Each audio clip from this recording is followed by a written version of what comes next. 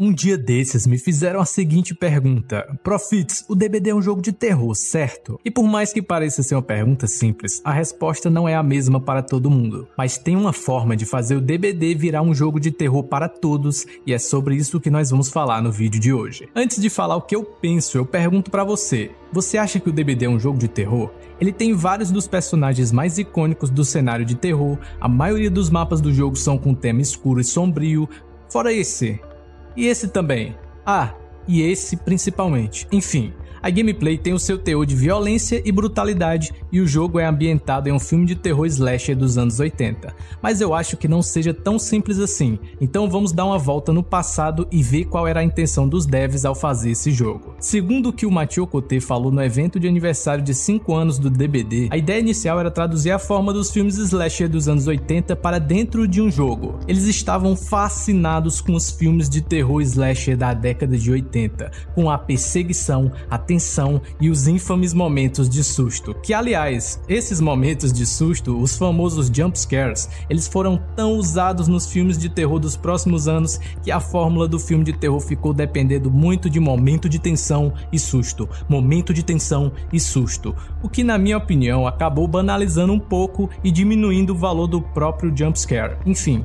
Voltando ao DBD, os devs pensaram bastante e eles chegaram à conclusão que o aspecto mais importante de um jogo que simula um filme de terror era a perseguição, pois eles provavelmente imaginaram como seria emocionante ser perseguido por um assassino de um filme de terror slasher, mas não só fugir e eventualmente ser pego, mas como também ter a chance de bater o killer e conseguir escapar como também ter uma chance de ser o assassino e ser temido pelos sobreviventes. Essa ideia de base fez eles criarem protótipos que assemelhavam muito a um jogo de pega-pega ou esconde-esconde, o que na realidade fez a fórmula do jogo ser melhor ainda, pois existe alguma coisa primitiva no ato da brincadeira infantil, que tem um apelo universal. Nas primeiras versões do DBD, ele já tinha um tremendo potencial de diversão e o próprio Mathieu Coté descrevia o jogo como puro doce para os dedos, expressão que significa que o jogo é muito gostoso de se jogar. Mas eles tinham que fazer a perseguição não só ser uma caça de gato e rato aleatória. Como toda brincadeira de criança, é preciso de regras para funcionar,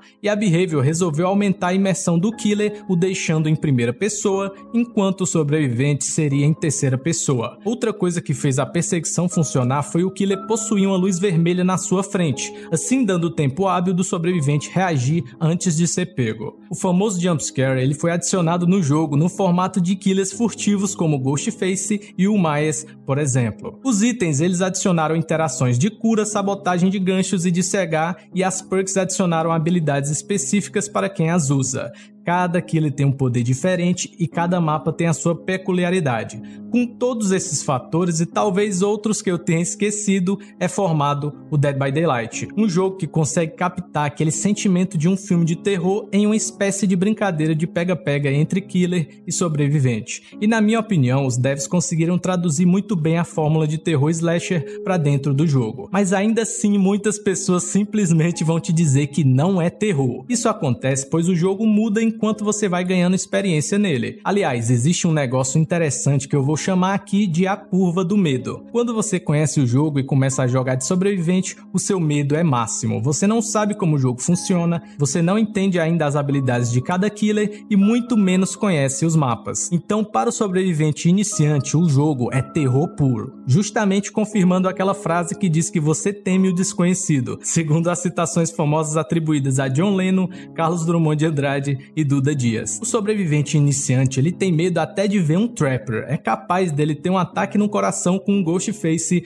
Myers ou até com a Pig. Não que isso não aconteça com jogadores mais veteranos, mas você entendeu o que eu tô querendo dizer. Enquanto o sobrevivente iniciante tem muito medo por não saber nada, o sobrevivente experiente já não tem quase nenhum medo. Aliás, muitas das vezes ele até afronta o killer ficando parado, dando teabag e piscando a lanterninha para que o killer venha em sua direção. Mas Mas por que isso acontece? Como nós falamos, o medo provém majoritariamente do desconhecido. Mas aí que vem a parte que eu acho interessante, que completa a curva do medo do DBD. De Killer, quando você começa a jogar, você não sabe de nada, mas você não tem muito que temer, até porque você é para ser tecnicamente o monstro que causa o medo. Você pode até perder partidas, porém não é o suficiente para te deixar com medo, talvez frustrado, mas não com medo. Aí você masteriza esse killer e vai ficando mais e mais habilidoso. Você amassa a maioria das partidas, até que você chega num ponto que eu não diria que você teme os survivals, mas você começa a se sentir estressado e ansioso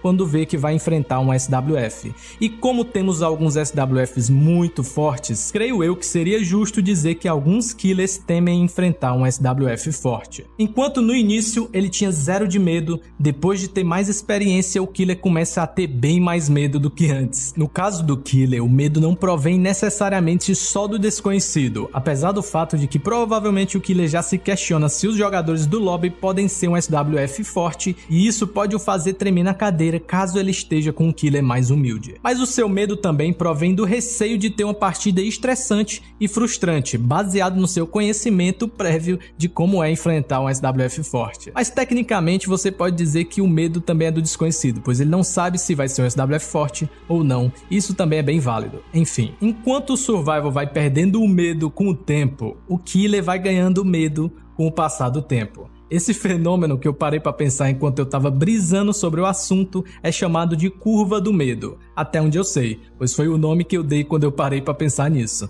Mas isso só complica mais ainda a pergunta inicial. O DBD dá medo? Bem, depende do seu papel e da sua experiência, onde você se encontra na escala do medo. Mas não é aí que acaba a discussão. Claramente tem um fator que afeta a quantidade de medo dentro do jogo e por incrível que pareça não é só a força do killer, como principalmente o quão bem coordenados são os survivals. Mas me escuta só, numa partida em que você está jogando de sobrevivente solo, o seu medo, entre aspas, provavelmente é bem maior do que se você estivesse jogando em conjunto com amigos em chamada. Essa situação não muda muito quando você se imagina solo contra uma Nancy top tier. Se você tá jogando solo e vê que a Nancy já derrubou três caras em menos de 15 segundos e está procurando por você, provavelmente o seu medo é muito maior do que se você tivesse com amigos em chamada contra essa mesma Nancy. Pois se as chamadas da Cal forem boas, você consegue fazer exatamente o que é necessário para evitar o slug. Ou ao menos você terá mais chance de fazer isso. Isso vai depender da boa coordenação do seu time e da habilidade de cada um. Enfim, agora virando pro lado do killer. Se ele estiver jogando contra um time normal aleatório ou até um SWF não coordenado, ele não teria muito medo ou receio. Mas esse mesmo killer, mesmo sendo um Nancy top tier, contra um SWF extremamente coordenado e equipado com as melhores perks, o killer ainda assim vai se sentir tenso e provavelmente ele vai ter medo de perder, mesmo com o killer mais forte do jogo. Então, nessa situação, qual é a melhor coisa de se fazer? Brincadeiras à parte, o maior fator que modula o medo dentro do DBD são os sobreviventes, pois quanto mais habilidosos e coordenados, menor medo eles vão ter, e isso afeta diretamente o killer, fazendo ter uma inversão de papéis onde o killer passa a temer o sobrevivente. Mas calma, isso não é um vídeo problematizando a força do SWF, eu só estou apontando esse fato, pois eu sei exatamente como fazer o DBD virar um jogo de terror novamente. A resposta para fazer o DBD virar definitivamente um jogo de terror é fazendo um modo com os sobreviventes em primeira pessoa, aumentando assim a imersão do sobrevivente e por mais habilidoso ou coordenado que ele seja, agora ele não vai ter uma visão privilegiada em terceira pessoa que vai ajudá-lo a se remover do jogo e a lupar sem medo. Não sei se vocês já viram o vídeo do Fubs, mas ele trouxe em vídeo um mod que deixa o sobrevivente em primeira pessoa e isso mudou totalmente o jeito que se joga de survival. Dá pra ver que ele realmente ficou morrendo de medo, sem saber de onde viria o killer e ele teve muita dificuldade até nos loops mais seguros. Isso aumentou em muitas vezes o medo de killers stealths como também aumentou o potencial de susto que eles têm. O link desse vídeo vai estar na descrição. Aliás, se nós quiséssemos fazer o DBD ficar mais assustador ainda, nós jogaríamos de sobrevivente em primeira pessoa e em realidade virtual. E sim, o Fubs também não perdeu tempo e fez um vídeo sobre isso também. O link também deve estar na descrição. Caramba, cara, pareceu muito legal jogar o DBD em primeira pessoa em realidade virtual e eu acho que essa é uma ótima oportunidade para a Behavior contratar uma empresa que adapte esse mod para VR. Se é que já não existe um DBD VR. Essa seria uma ótima desculpa para fazer o jogo em VR, claro. Porém, eu iria preferir que eles adicionassem ao jogo um modo de primeira pessoa para sobrevivente onde nós tivéssemos a opção de jogar em VR. Cara, isso seria incrível, mas eu consigo apenas imaginar. Mano, deixa só eu dar uma olhada quanto é um Oculus Rift. Nossa, como assim, velho? E será que eu preciso dar um upgrade no PC para jogar VR? Deixa só eu dar uma olhada. Caramba, velho, até meu PC ficou com vergonha. Calma, meu filho, você é precioso. Um dia você será upgradado e para que eu possa jogar em VR, só tem uma coisa a fazer. Dê um tapa no like, se inscreva e liga as notificações e também ajuda muito clicar nesse vídeo que tá na sua tela, pois o YouTube me assegurou que você vai amar. Não esqueça de beber sua água, comer seus vegetais. Eu vejo vocês no próximo vídeo.